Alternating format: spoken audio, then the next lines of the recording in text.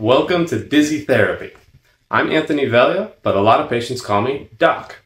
I'm a doctor of physical therapy who specializes in vestibular rehabilitation, which means that I treat patients with dizziness, imbalance, and vertigo 40 hours every week.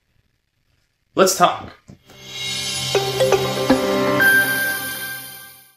Let's talk about acoustic neuroma, also sometimes is called a vestibular schwannoma. Right away, yes, this is a brain tumor. But to be clear, this is not nearly as scary as it sounds, and very rarely is this type of tumor a threat to someone's life. In fact, most people who have this kind of tumor don't even know. They just find it by coincidence, they have it monitored the rest of their lives, and it never amounted to anything. But to start all of this information, let's get familiar with the anatomy involved in the ear and the brain. This is Earl the ear. He's a right ear, by the way, and we're going to show you what's going on. Now, when I'm looking straight ahead, my right ear is angled about here. My big floppy outer ear is out here, the long ear canal an eardrum, which vibrates with sound, to hit some bones, which vibrates the cochlea. And this snail shell is where we actually hear things. And all that hearing information gets carried down this big nerve off to the brain. But you might notice, that's only half an ear. What about this other half? So this other half of Earl, this crazy maze here, is totally separate from your sense of hearing. This is my area, the vestibular system. This is where our balance awareness and orientation takes place 24 hours a day. These tubes here are full of fluid very similar to ocean water, and it moves whenever you do. I always think of a hula hoop full of water. If you were to turn, well, that water would move too. At each of these three dead ends, there's a little flap that acts as a sensor. Whenever you move, you can tell what direction and how much you've moved, and all that information can get sent down these nerves to the brain as well. Now, deep in this area, it's not really shown, it's inside of Earl, there's a bunch of crystals that make a bed and a wall.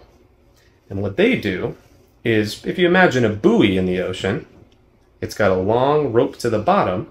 If you saw it moving one way or another, you would know which way the water is moving. And these crystals, that's their job too.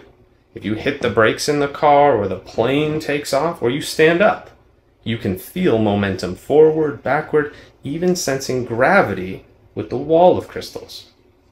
So, all of that information for your balance, for your orientation, gets sent down the vestibular nerve, all of the hearing information goes down the cochlear nerve, and then it combines into the vestibulocochlear nerve.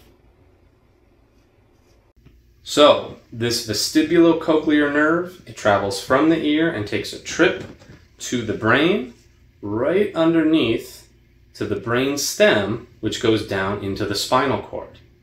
Now, with any kind of tumor, there are two big pieces of information that we certainly want to know what's the location and what else is in that location, as well as the, is that tumor able to grow or spread elsewhere? Now, to answer one of those questions immediately, by definition, an acoustic neuroma is a benign tumor. It can't spread to other parts of the body or metastasize like a cancerous tumor potentially can. This is not a cancerous tumor. A tumor does not equal cancer and vice versa. Okay, good. So that's one big thing you don't have to worry about.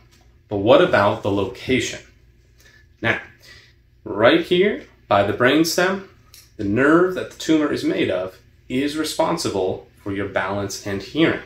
So if the nerve is dysfunctional, you will likely have some balance issues, hearing loss, or dizziness because the brain is not getting the same amount of information.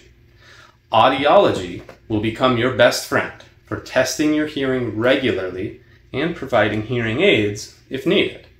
And vestibular rehabilitation physical therapy will be there to help minimize the dizziness and give you the best balance possible.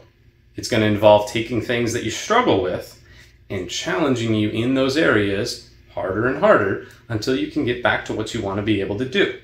I have a whole video describing VRT or vestibular rehabilitation therapy in a lot more detail if you're curious about that. Now, that can happen whether or not that neuroma is growing or staying the same size. If the neuroma is growing large enough, which is not always the case, it could threaten to start squishing the brainstem, which is extremely dangerous. This is why regular imaging and hearing tests are so important to assess the status of the tumor. An ear, nose, throat doctor, or ENT, will be watching over this entire situation making sure that it's either staying the same or if it is growing, it's not dangerous yet. If the tumor is one of the few that does seem to be continuously growing, what do we do? The solution here is surgically remove the problem. The details will depend on each case, but often the entire nerve may be severed. This means that hearing will essentially be gone and you will lose virtually all the balance sense on that side. This is a huge change. You will almost definitely need some inpatient rehabilitation first, as in you're spending nights at the hospital or rehab center learning to just stand and walk again. Once you are out of the hospital, you will then definitely be needing some outpatient therapy, hanging out with a PT at a clinic and getting some homework that you can do at home. You do have two ears after all, so even though one has been lost, you still have the other. This is similar to the treatment given for vestibular neuritis. I have a video on that too, which is an inner ear nerve infection instead of a tumor. But instead of it being 25, 50% damaged, that vestibular system is now 100% gone. The good news though, if the tumor is completely removed, the nerve's gone, the tumor's gone, it's all clear then there is no longer any concern in terms of the tumor. And in terms of balance and dizziness, there's nowhere to go but up. From then on, the ear and the nerve are in a stable state, meaning that nothing's going to be changing from there. So the more you train your brain to compensate for the loss, the less aware of any deficits you'll be, and the more stable you can be. As one of my favorite examples of any patients have ever had, I had a wonderful 58 year old man. He came into the clinic shortly after he was done with his inpatient rehab. He had had the nerve cut and he was pretty unsteady on the first day. He had to keep his head still to walk and not lose balance. But I gave him homework to challenge his dizziness and balance, stuff that was tricky for him then. Each time he came in for the next few weeks, I gave him slightly harder homework, slightly harder homework, again and again. After several weeks of that, I had to kick him out of the clinic because he was able to do flips on a kayak again. It's a really important skill to be able to do a rollover if you want to get back to white water rafting. And that was one of his main goals. He was a big fan of kayaking, so that's what we challenged him to do.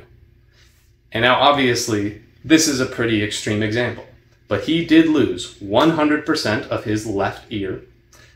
And with therapy alone, we got him to a point he was compensated and he could do something so cool. I don't even know if I can do that. And I have two. It is the brain that ultimately determines the ability to orient us, to keep us upright, even if there's less information coming in.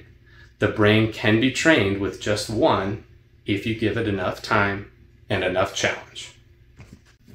To summarize, an acoustic neuroma is a benign tumor that is made out of the nerve from the ear to the brain. While some do grow larger, most of them don't. They just sit there. But any of them, regardless of size, can interfere with the functions of the ear, leading to dizziness, imbalance, or hearing loss. You're going to want to have regular imaging and hearing tests as long as that tumor is still there. So you want on your team an ENT, a physical therapist who knows vestibular rehab, and an audiologist to keep track of things, keep you safe, and minimize symptoms. If you're one of the few who needs it, surgery is required to cut that tumor out, and essentially that whole ear may be gone. But then the ear is in a pretty stable state, meaning we just need one more big bout of therapy to get your brain to compensate, and then more or less, balance wise, dizziness wise, back to normal.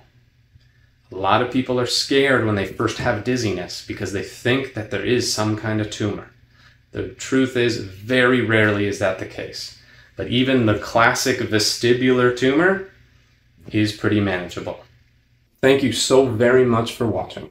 Always stay curious about these incredible bodies that God has designed for us so well. Leave a question in the comments below because I would love to know what you all want to learn. Subscribe to Dizzy Therapy for more videos in the future.